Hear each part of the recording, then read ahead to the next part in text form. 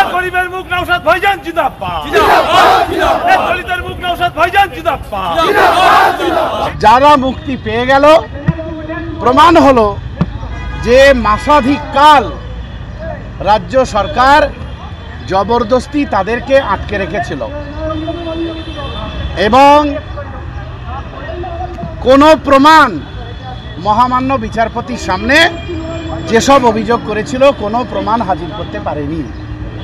কার্যত রাজ্য সরকার বলতে তো আর কেউ না একটাই পোস্ট বাকি সব ল্যাম্প পোস্ট। একটাই পোস্ট বাকি সব একটাই পোস্ট বাকি সব সুতরাং মমতা বন্দ্যোপাধ্যায়ের খেলা শেষ হলো। অনেকে বলছে রাজ্যের মুখ পড়ল।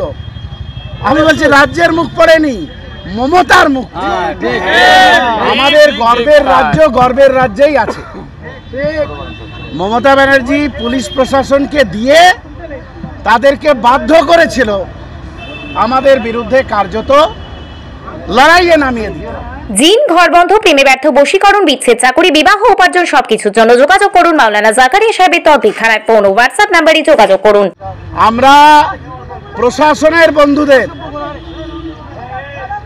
আমরা যে সমস্ত অ্যাডভোকেটসরা লড়াই করেছিলেন, তাদেরকে আর আমাদের সংগ্রামী সাথীরা যারা ময়দানে নেমে আন্দোলন করছিলেন, তাদের সকলকে সংগ্রামী অভিনন্দন জানায়। আজকের এই জয় প্রমাণ করে দিল যে লড়াইয়ের মৃত্যু হয় না, লড়াইয়ের সব সময় জয় হয়। তাই আইএসএফ লড়াইয়ের শপথ নিয়ে সমাজ বদলের স্বপ্ন নিয়ে যে পদযাত্রা শুরু করেছে আগামী পঞ্চায়েত নির্বাচনে মানুষ জবাব দিয়ে বুঝিয়ে দেবে। জেলবন্দি রাখার কারণে আমাদের আলাউদ্দিনের মা মারা গেছে বলব না খুন হয়েছে বলব। কারণ এটা মানসিক অত্যাচার এবং খুন। সুতরাং বাংলার মায়েরা, আলাউদ্দিনের মায়ের জবাব বাংলার মায়েরা, মা বোনেরা নেবে। আগামী পঞ্চায়েত নির্বাচনে তার প্রমাণ। আজকে সাগর দিঘিতে। সাগর দিঘিতে তাদের পরাজয়। তাই আমাদের স্লোগান, হাইকোর্টেতে বেল। হাইকোর্টেতে বেল, আরে সাগর ফেল। সাগর দিঘি ফেল। হাইকোর্টেতে বেল। আমরা সাংবাদিকদের বন্ধুদেরও আমরা ধন্যবাদ জানাই। আমাদের এই সংগ্রামের সঙ্গে তারা ছিলেন, প্রতিটা মুহূর্তে ছিলেন।